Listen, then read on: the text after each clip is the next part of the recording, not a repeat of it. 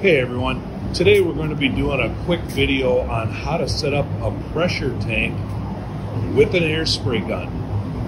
So before I do that, I just want to go through a, a couple of the component ID on this pressure tank.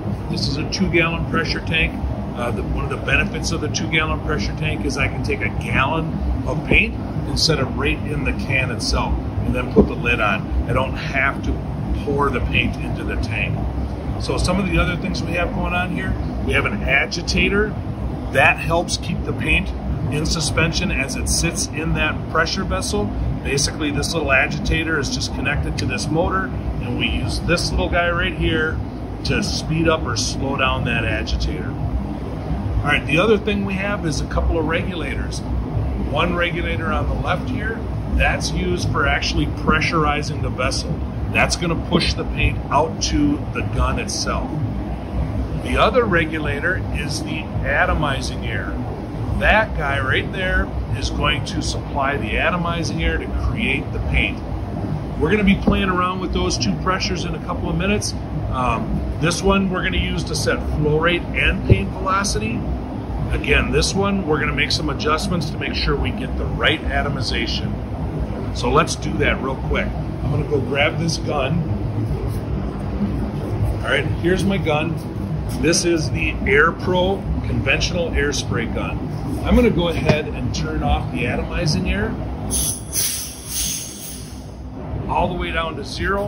And we're gonna take this and I'm gonna take the lid off of my waste bucket, waste bucket connected to the ground, supply tank connected to the ground, and of course my pattern or my target connected to ground. We're not using electrostatics here, but we are using flammable paints. So we want to make sure safety first.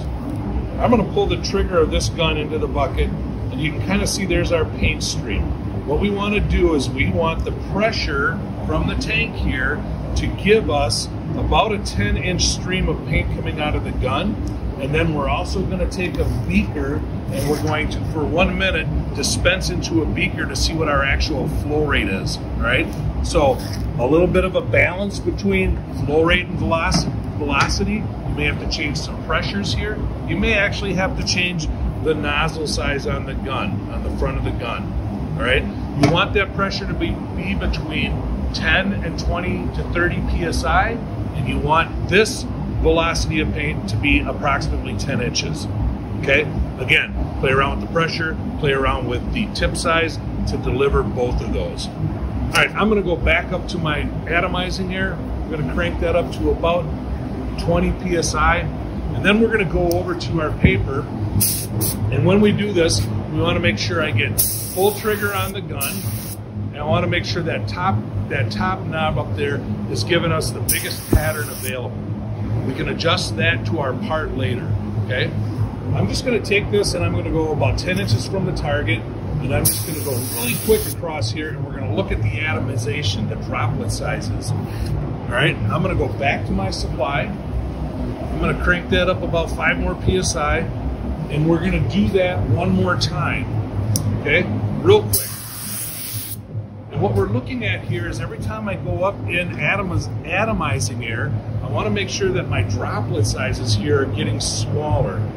If they stop getting smaller, that means I've achieved the best atomization with the lowest pressure setting. So for example, let's say, I, and, and, this isn't the case here, we've got bigger drops, smaller drops. And my guess is if I add five more, I'm gonna get even smaller drops. But at some point, we're gonna stop seeing that progression of small size. So for example, if this was 20 PSI right here, and this was 25 psi and they were the same, I would set my gun back to this 20. Right? That's going to give us the best optimization, the lowest amount of air being used, and the best transfer efficiency. All right, so that real quick was how to set up a pressure pot for painting. For more information on this package or any other packages, reach out to us at www.graco.com.